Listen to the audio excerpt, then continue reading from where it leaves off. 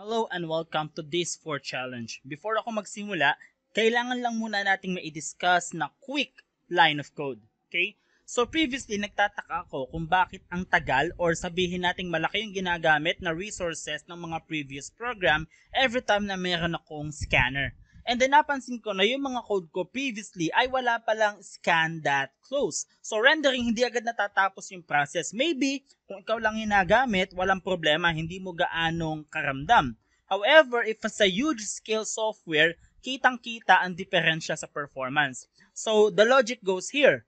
Every time nagagamit ka ng scanner, so alam na natin kung paano ito i-declare.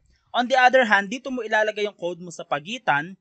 And then, every time natapos ka na, or sabihin natin na ilagay mo na ang lahat ng functionalities mo ng scanner is dapat sa dulong line ay merong scan that close. Okay? So that's more than. So time to discuss kung paano natin gagawin yung ating program. Let me explain. First, let me discuss yung ating tinatawag na constraint or rules.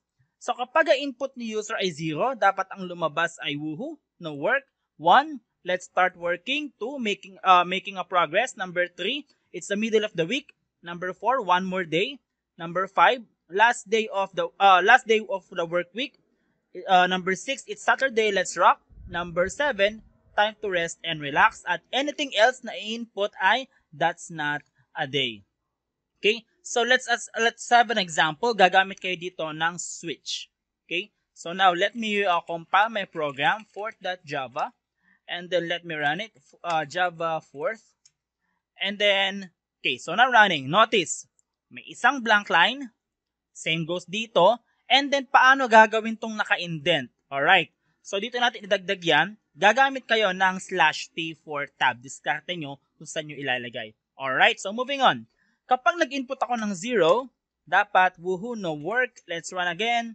1. Uh, let's start working. Number 2, making a progress. Number 3, it's the middle of the week. Number 4. Oops, sorry, hindi ko na click.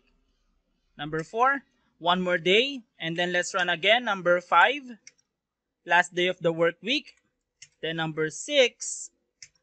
It's Saturday. Let's rock. And number 7.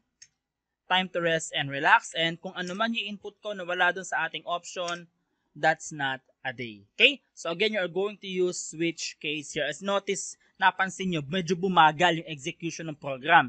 Kasi hindi ko na ipakita sa inyo or nailagay kanina sa code na to yung scan that close. Okay? So kung napansin nyo, medyo naglalag si system, si computer, bago lumabas yung output or bago lumabas ang next process because nakalimutan kong ilagay ito. Remember to use this every end of your code. Okay? I'll be seeing you sa ating next video.